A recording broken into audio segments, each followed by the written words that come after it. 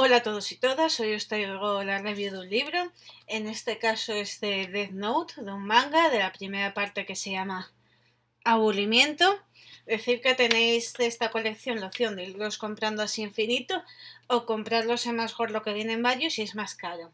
Y en este caso es de norma editorial, me compré estos que vienen así más en pequeñito, son de Sugumi Oba y de Takeshi Obata, que son los mismos autores de Blue no, de Bakuman, es el mismo, los mismos autores, es de norma editorial y bueno, como siempre os voy a leer la sinopsis y os voy a decir mi opinión.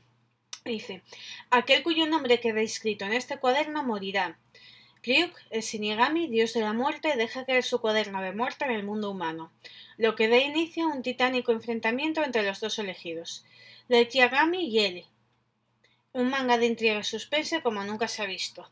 Yo lo compré pues porque por la temática me gustaba mucho y luego me llamó mucho también la atención el tipo de dibujos que tiene y que trae también páginas en las que va diciendo pues normas del libro.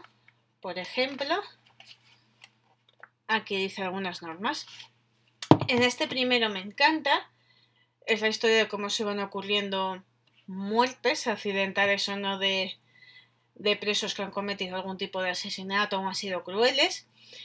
Y pues vemos un enfrentamiento entre un detective que nadie conoce su cara y el protagonista que le bautizan como quiere y nadie sabe quién es.